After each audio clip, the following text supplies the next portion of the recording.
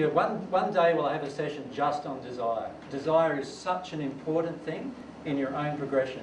And, and the reason why most of us have unsatisfactory sex lives is because we don't know how to fully actualize our desire in harmony with love.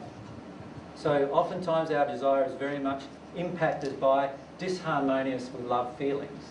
And that's what causes us to get into so many situations that are damaging to our own soul.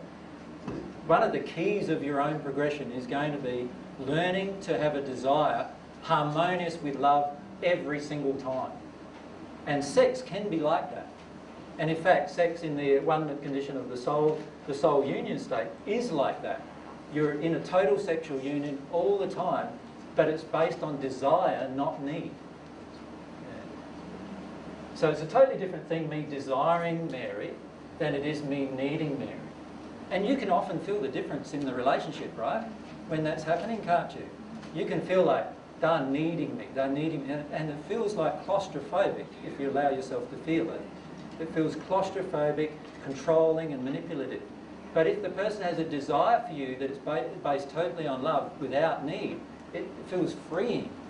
It feels totally beautiful. It feels very beautiful. Totally different.